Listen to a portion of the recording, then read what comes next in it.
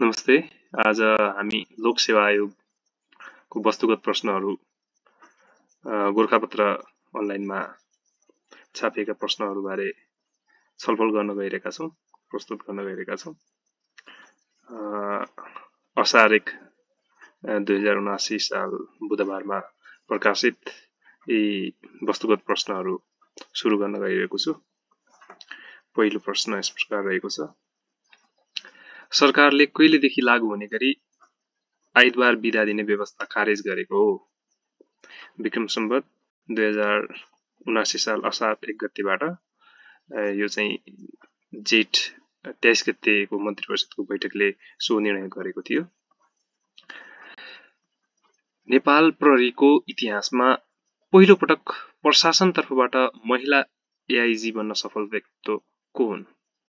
उनी हुन् पूजा सिंह। यो पनि जेठ तेइस गतेको मन्त्री परिषदको बैठकले एआइजीमा बढुवा गर्ने निर्णय गरिएको थियो। विश्व खाद्य स्वच्छता दिवस कहिले मनाइन्छ? जुन सातमा सन् दुई हजार बाइसको नारा चाहिँ स्वच्छ सन्तुलित आहार स्वस्थ जीवनको आधार रहेको थियो। नेपाल सङ्गीत तथा नाट्य राष्ट्रिय प्रज्ञा पुरस्कार दुई हजार अठहत्तरबाट सम्मानित हुने कलाकारहरू को को हुन्?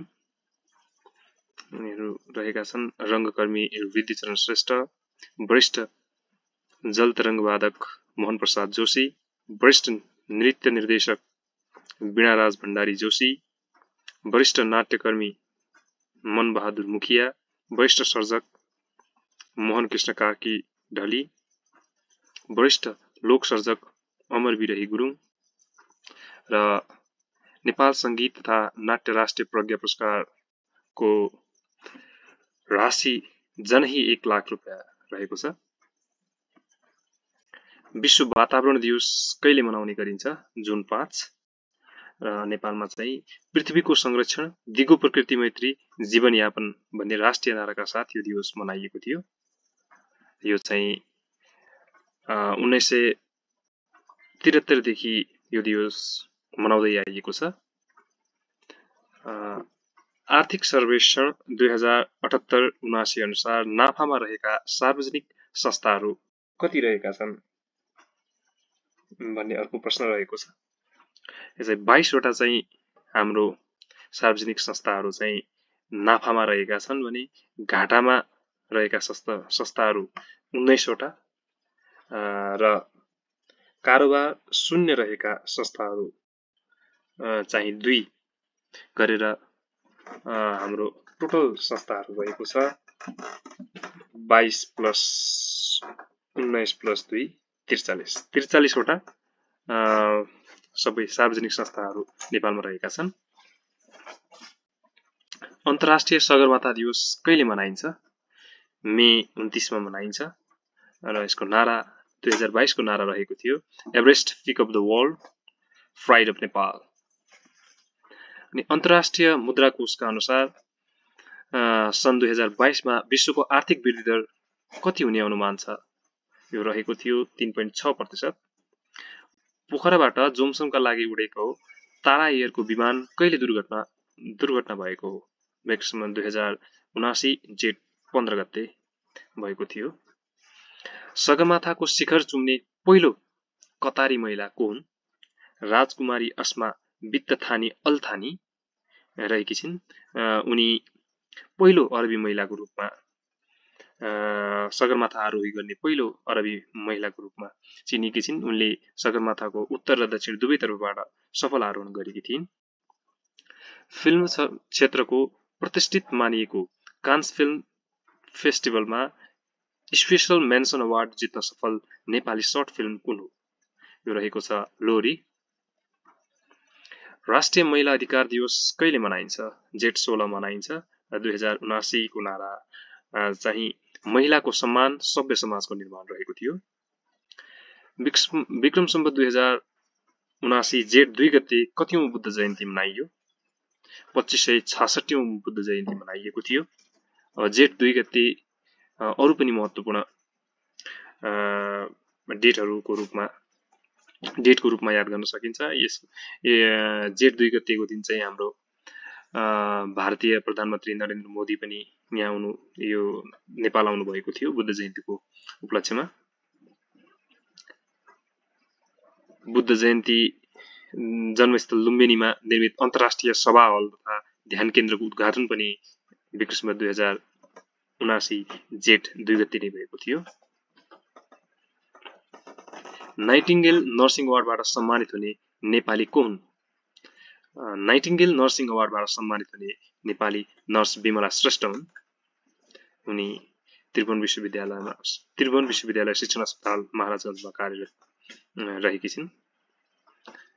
देशभरका सात सय त्रिपन्न स्थानीय तहका जनप्रतिनिधिहरूको पाँच वर्ष कार्यकाल कहिले पुरा भएको हो? विक्रम दुई हजार उनासी जेठ पाँचमा पुरा भएको हो। सबैभन्दा धेरै स्थानीय तह भएको जिल्ला सर्लाही रहेको छ। एघारवटा नगरपालिका र नौवटा गाउँपालिका गरी बिस स्थानीय तह रहेको। सबैभन्दा धेरै स्थानीय तह रहेको प्रदेश रहेको छ। प्रदेश नम्बर एक एक सय सैतिसवटा स्थानीय तह तहहरू रहेको छन्। अनि सबैभन्दा कम स्थानीय तह भएको प्रदेश रहेको छ। कर्णाली प्रदेश उनासीवटा। अनि दुई दुईवटा उपमहानगरपालिका भएको जिल्लाहरूको सङ्ख्या तिन रहेको छ। सुनसरीमा धरान र इटहरी उपमहानगर उपमहानगरपालिका बाह्रमा जितपुर र कलैया तथा दाङमा चाहिँ तुलसीपुर र घुराई उपमहानगरपालिका रहेका छन्। क्षेत्रफलका हिसाबले सबैभन्दा ठुलो उपमहानगरपालिका घोराही दाङ हो भने सबैभन्दा सानो उपमहानगरपालिका नेपालगञ्ज बाँकेको नेपालगञ्ज रहेको छ। स्थानीय सरकार सञ्चालन ऐन दुई हजार चौहत्तर अनुसार गाउँपालिकामा कम्तीमा कतिवटा हुनुपर्ने व्यवस्था छ? गाउँपालिकामा कम्तीमा पाँचवटा वडा र बढीमा चाहिँ एक्काइसवटा छ भने नगरपालिकामा कम्तीमा नौवटा र बढीमा पैँतिसवटा हुने गरी निर्धारण गर्नुपर्ने प्रावधान रहेको छ। नेपालमा हाल कति प्रजातिको चरा भेटिए भेटिएको अभिलेख छ? हाल नेपालमा आठ सय नब्बे चराका प्रजातिहरू रहेको अभिलेख छ। हालसालै चाइनिज फोन हेरोन नामक प्रजातिको चरा थपि थपिएर आठ सय नब्बे प्रजातिका चराहरू नेपालमा रहेको अभिलेख भएको छ। अजर अमर सम्मान दुई हजार अठहत्तरबाट सम्मानित हुने व्यक्तित्वको हुन्। मणिक रत्न स्थापित हुनुभएको छ। अजर अमर सम्मान दुई हजार अठहत्तरबाट सम्मानित हुने व्यक्तित्व मणिक रत्न स्थापित। मधुपक सम्मान गद्य दुई हजार उनासीबाट सम्मानित सर्जक को हुन्। उनी रहेका छन् पुरुषोत्तम बस्नेत। सन् दुई हजार चौबिसमा हुने ग्रीष्मकालीन ओलम्पिक समर ओलम्पिक खेलकुद प्रतियोगिताको आयोजना आयोजक राष्ट्र फ्रान्स रहेको छ। रगत निलो हुने समस्या के को कमीका कारणले हुन्छ? यो चाहिँ पाइरोक्सिनको कमीले हुने गर्दछ नासाको दाभिन्ची प्लस र बेरिटास मिसन केसँग सम्बन्धित छ यो चाहिँ शुक्र ग्रहको मिसनसँग सम्बन्धित छ काठमाडौँमा आयोजित दसौँ Nepal Africa film festival award दुई हजार बाइसमा अन्तर्राष्ट्रिय विधातर्फको अवार्ड जित्न सफल लघु फिल्म कुन हो ghost of space time Morocco film ghost of space time रहेको छ दसौँ Nepal Africa film festival award दुई हजार बाइसमा अन्तर्राष्ट्रिय विधातर्फको अवार्ड जित्न सफल लघु film. United nation public service day कहिले मनाइन्छ? यो जुन तेइसमा तेइसमा मनाउने गरिन्छ। गोर्खापत्रमा प्रकाशित वस्तुगत प्रश्नहरू यति नै रहेका छन् र जाँदा जाँदै हजुरलाई एउटा आइक्यूको प्रश्न छोडेर गइरहेको छु। सही उत्तर के होला प्रतिक्रिया गरिदिनु हुनेछ र सही उत्तर लाई म पिन गरेर पनि राखिदिनेछु हजुरहरूको उत्तरलाई।